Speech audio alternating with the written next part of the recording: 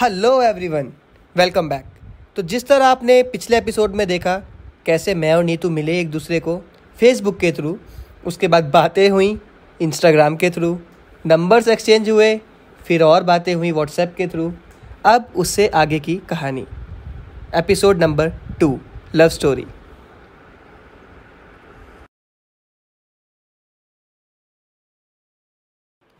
पहली बार बात होने के बाद मेरी और नीतू की बातें एकदम से रुक गईं। वो भी एक या दो दिन के लिए नहीं, सीधा दो महीने के लिए। नीतू अपनी मॉडलिंग में बिज़ी रही, मैं अपने क्रिकेट में बिज़ी रहा।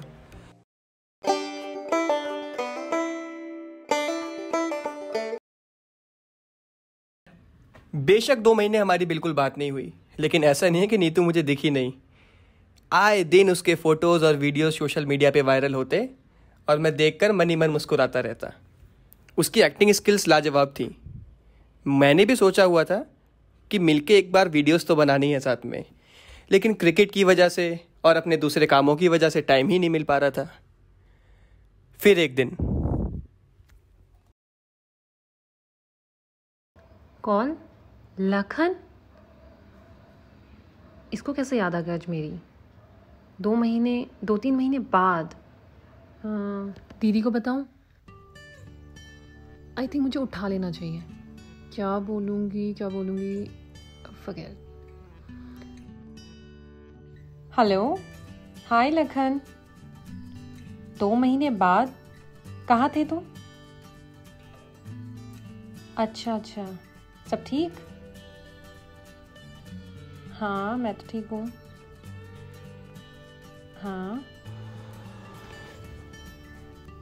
आज हाँ आज हम मिल सकते हैं। बताओ कहाँ पर मिलना है? वीडियो। अच्छा।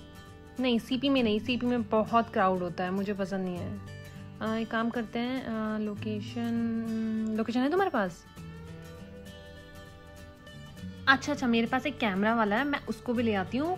वो हमारी वीडियो शूट कर देगा ओके आ, मैं मिलती हूँ तुमको नोएडा में नोएडा डीएनडी में। ठीक है? ओके सी यू बाय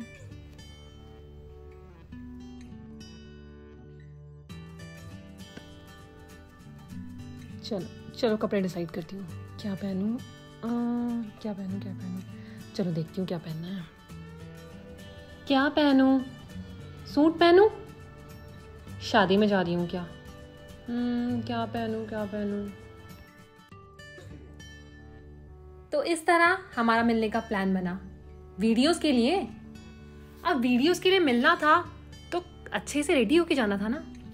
तो मैं भी लग गई कपड़े ढूँढने में।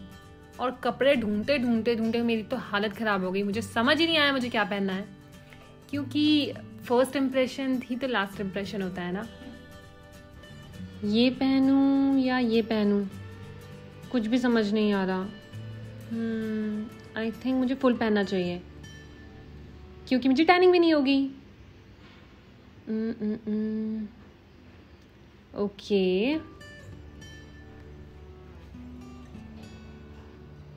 ये पहनती हूँ और ये पहनती हूँ इसके साथ। Okay done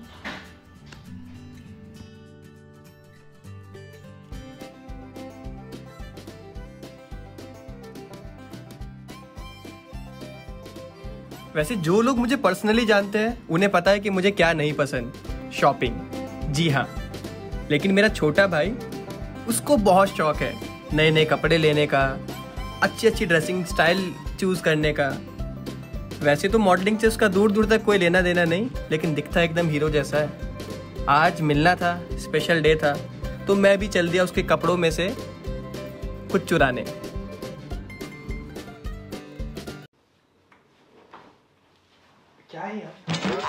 Hi hi everyone hi everyone so welcome back and thank you so much ये एपिसोड देखने के लिए और वी होप कि आपको ये भी उतना ही पसंद आया होगा जितना एपिसोड वन और सॉरी बहुत डिले हुआ और उसका रीजन है लॉकडाउन नीतू शर्ट आप यार क्यों झूठ बोल रही है? जस्ट बिकॉज़ ऑफ़ लखन इतना लेजी है ये ये शूट करने में इतना इसको टाइम लगा मैं इसको डेली फोर्स करती मैं मैं लेजी नहीं हूँ मैं समझदार हूँ। रिकॉर्ड प्लीज़ ये चाहती है मैं बाहर जाकर रिकॉर्ड करूँ और पुलिस के डंडे खाऊं और उसकी ये वीडियो बनाया मेरा एक मज़ाक वाला वीडियो वायरल कर दे लेकिन ऐसा नहीं होगा।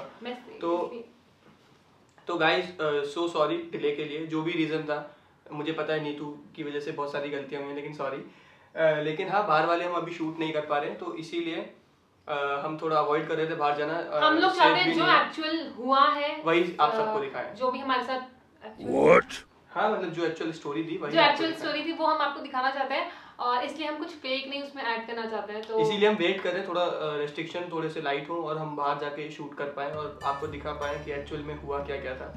और जैसे कि आपने देख लिया ऑलरेडी कि नीतू किस तरह मुझे मैसेज करती थी किस तरह मुझे कॉल करके मेरे कि लखन किस तरह दो महीने तक मेरे बारे में सोचता रहा मैं कहीं नहीं सोच रहा और था, उसने मेरा नंबर मांगा और फिर मुझे बोला कि नंबर मैंने मांगा था।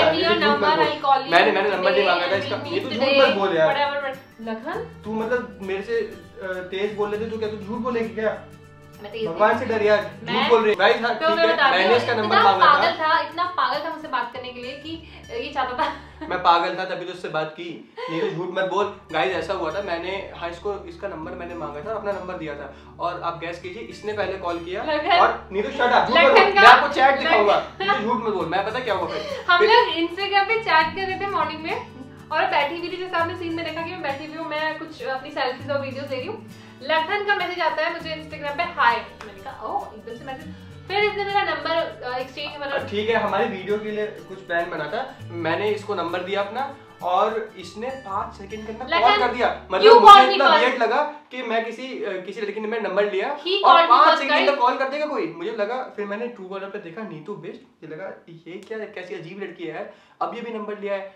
एक मिनट वेट नहीं किया दस मिनट वेट नहीं किया सीधा कॉल कर दिया तुरंत। तो मैं सरप्राइज़ था देख के और उससे ज़्यादा सरप्राइज़ था उससे मिलके क्योंकि जो हमारी नज़रों में एक इमेज होती है लड़की ऐसी होती है वैसी होती है ऐसी बिल्कुल नहीं। मैं आपको बताऊँगा अगले एपिसोड में। हुआ क्या था? शट अप हाँ मैं आपको अगले एपिसोड में बताऊँगा इसने क्या क्या कारनामा किया था जब हम पहली बार मिले थे। इसने क्या किया था? क्या बकवास की हाँ ठीक है वो वो ऑडियंस डिसाइड करेगी कि बकवास क्या था और बाकी की चीज़ें क्या थी।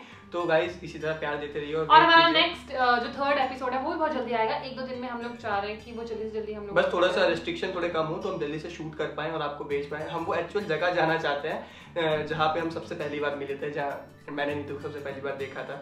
और हाँ वो हम अगले अगले अगले अगले उसमें आपको दिखाएँगे। शट तो गाइस हाँ आप लोग बताते हैं कि आपको नोटिफिकेशंस नहीं आते हमारे वीडियोस के।